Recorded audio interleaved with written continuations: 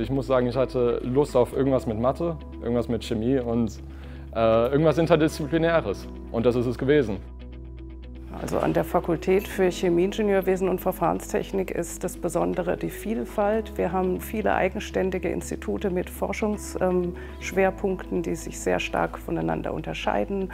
Und das, davon profitieren auch unsere Studierenden. Ich würde den Studenten, die Interesse haben an Verfahrenstechnik, technischen Umsetzungen von Prozessen, denen würde ich empfehlen, nach Karlsruhe zu gehen, weil wir hier eben unsere Stärke haben und ihnen hier die beste Ausbildung bieten können. Im Master hat man sehr viele Optionen wirklich in dem Gebiet sich besser einzuarbeiten. Man bekommt nirgendwo anders so eine breite Auswahl an Vertiefungsfächern. Unsere Auswahl ist ja gigantisch. Ich hatte am Anfang Schwierigkeiten auszuwählen, was ich äh, machen will. Und wir haben ein sehr, sehr gutes Betreuungsverhältnis. Mittlerweile sind die Gruppengrößen so wie kleine Klassen, also es sind 20 Studierende auf ähm, einen Professor, Professorin.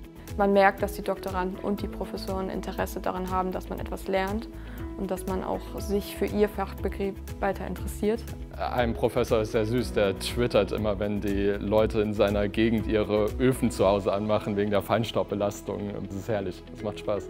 Ich denke, wir sind durch die Forschungs- und Anwendungsnähe ähm, wirklich auch sehr attraktiv, ähm, was, glaube ich, auch den Zuspruch durch die Studierendenzahlen ähm, belegt wird. Ein Highlight bei uns an der Fakultät ist die Biolik-Anlage. Und das Besondere an dieser Anlage ist, dass es eine Anlage schon im Technikumsmaßstab ist. Und das ist natürlich für den Verfahrenstechniker sehr, sehr spannend, weil man die einzelnen Anlagenkomponenten auch schon in großem Maßstab erleben kann.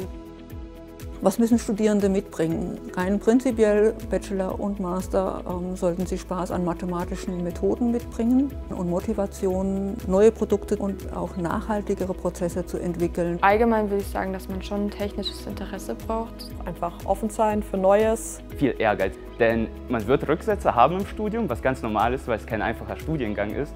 Aber wenn man den Ehrgeiz hat und wirklich etwas dann im Endeffekt macht, was dir Spaß macht, merkt man, dass das Durchhaltevermögen sich am Ende wirklich auszahlt. Wenn Sie Bioingenieurwesen oder Chemieingenieurwesen studieren und Sie schließen das Studium mit Ihrem Master erfolgreich ab, dann werden Sie in der Lage sein, unsere Gesellschaft weiter voranzubringen. Karlsruhe ist eine relativ große Studentenstadt, also es hat schon sehr, sehr viele Studenten, das heißt, man findet immer irgendwie Anschluss.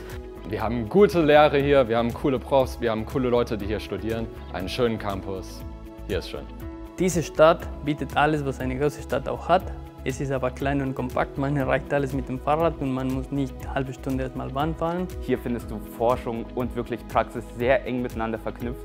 Alle Professoren waren meiner Meinung nach immer äh, in irgendeiner Branche auch wirtschaftlich tätig und diese Verknüpfung mit hoher Kompetenz und Praxisnähe, ich glaube, ist wirklich etwas, was das KIT besonders gut vermitteln kann.